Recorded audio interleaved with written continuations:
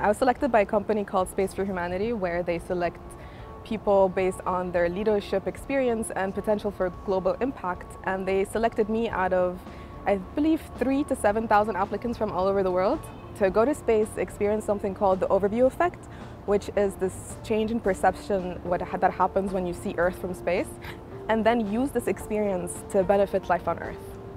So seeing Earth from space was the most profound experience that I have ever had. When the moment actually came, when I was sitting on that chair, I was very calm and I was just very excited. And I felt honestly that I wasn't going alone and also with the crew we were had such a good bond and then of course the engines ignite and then you see you know the reflection of the fire on the window so it's like it's real and then you lift up. So the sky went from light blue to darker blue to purplish blue and then black.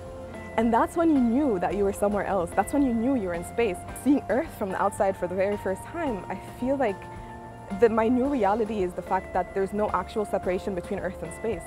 Of course, as a woman in the space field or in engineering, you do face a lot of, you know, challenges with being, um, you know, underestimated, with being that we're being told that this is too hard for you, but I always use that as, you know, something that pushed me a little bit harder. I have a few projects cooking um, in the background. I do have my own company that is, you know, its mission is to increase accessibility and opportunity in the space field.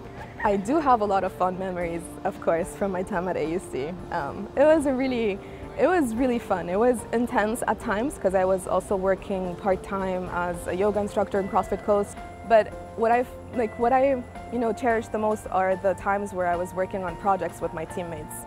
Those were really really fun. We were learning a lot. We were testing out things. We were kind of like brainstorming crazy ideas. Something that I'm very passionate about as well is that is to tell people that it is possible. And through my experience, through seeing someone that looks like them, finally in the space field for the very first time in history, that it is possible.